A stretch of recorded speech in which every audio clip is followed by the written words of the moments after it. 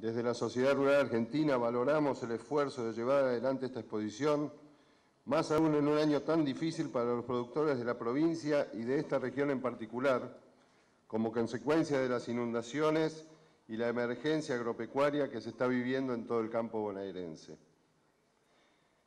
Y pasando esto, resulta muy increíble que en este contexto, desde el gobierno provincial, se esté empezando a deslizar la posibilidad de un aumento en el impuesto inmobiliario rural. ¿Cuál fue el beneficio que recibió el productor por el incremento de este tributo que tuvo que afrontar allá por el 2011? ¿Hasta cuándo los gobiernos seguirán ahogando el campo con presión impositiva que no nos deja seguir creciendo? ¿Acaso con ese dinero se ha hecho el mantenimiento adecuado de caminos para que podamos transitar sin riesgo, sacar la producción o solamente llevar nuestros hijos a las escuelas? ¿Acaso se invirtió en la, mejora de la calidad educativa? ¿Se han construido con ese dinero recaudado hospitales o se mejoró el tema de la salud pública? ¿Qué respuesta podemos llegar a recibir si hasta gasas han faltado este año en los hospitales bonaerenses?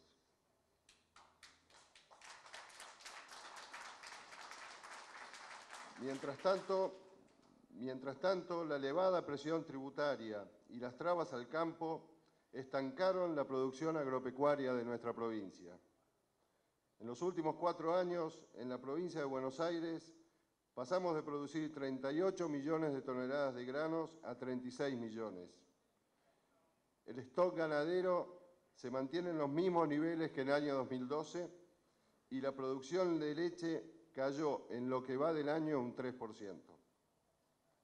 En definitiva, la intención de seguir aumentando impuestos en esta coyuntura se convierte en una afrenta más para un sector que no ha dejado de contribuir a la economía y desarrollo del país y de cada una de sus provincias.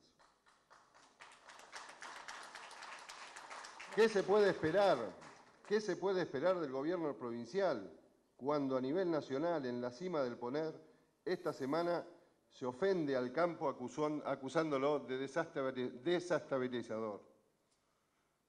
Como si fuera que nosotros los productores podemos llegar a voltear un gobierno por tener silos bolsas.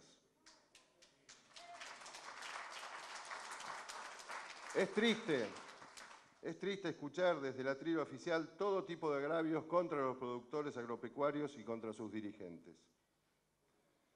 ¿Con qué ánimo y qué incentivo puede tener el campo para encarar la siembra de una nueva campaña de cosecha gruesa, con precios muy por debajo del año anterior?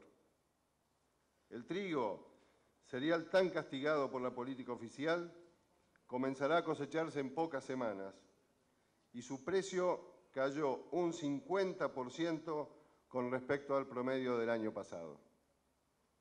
El precio del maíz y de la soja disminuyeron en un 31 y un 14% con respecto al promedio del año anterior.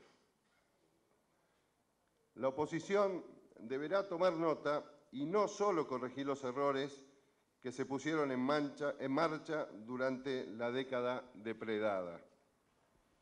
Aquí falta una política agropecuaria nacional de largo plazo, una política que alienta la inversión y la creación de trabajo genuino.